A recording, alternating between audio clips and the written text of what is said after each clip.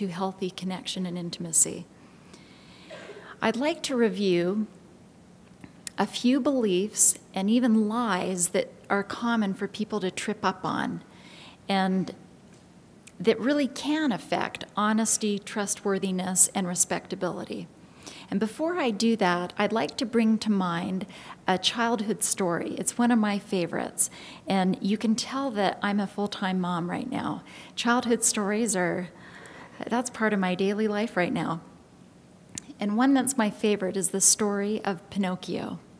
You've all heard it. It was written in 1881 by Carlo Collodi, an Italian author, but the version that we're most common familiar with is the 1940 Disney adaptation, Pinocchio. I find this a powerful story laden with lessons about relationships, about the power of lies, about the transformation of a wooden heart into a real one. It's also a fabulous story about redemption. You'll recall that Pinocchio was a wooden puppet that was carved out of pine wood, and in fact, the word Pinocchio means pine eyes.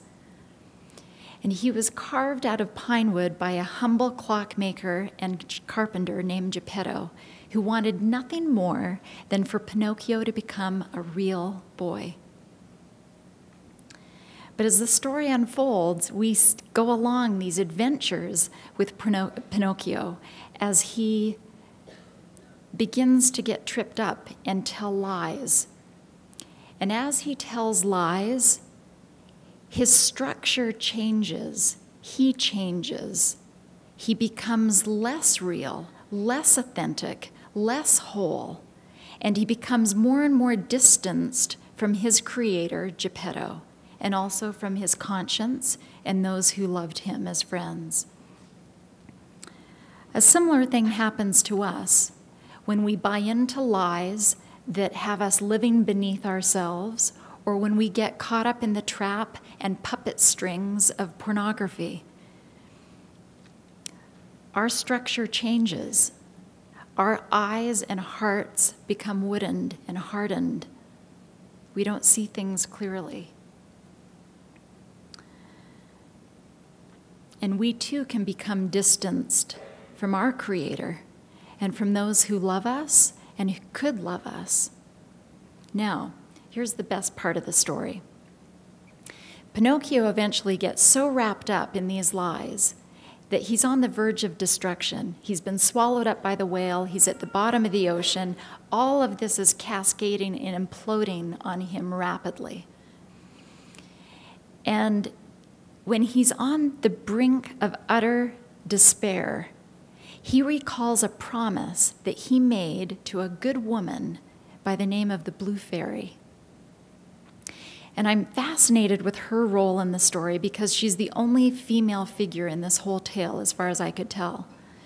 And she promised Pinocchio that if he would prove himself brave, truthful, and unselfish, that she would help him become real and grant Geppetto's wish. He remembers this promise, and that promise becomes a motivational factor for him to start proving himself, pulling up his socks and starting to get step up to the plate and do what was necessary to meet that promise head on. But the blue fairy does an interesting thing that I think has a powerful lesson for women. The blue fairy does not rescue Pinocchio from his lies and poor choices.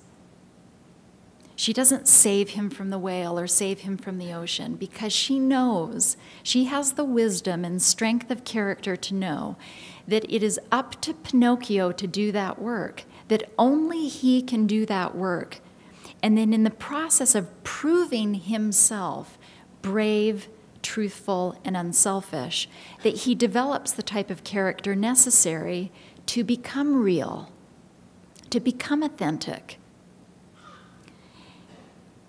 I wish that more of us as women could really integrate and learn that lesson on a very deep level because I fear sometimes women, especially in the dating scene, can be too good for their own good sometimes and desire, with good intention, to rescue someone or to help someone and save them from their own redeeming process of transforming, improving themselves, and living up to promises or even covenants that they have made.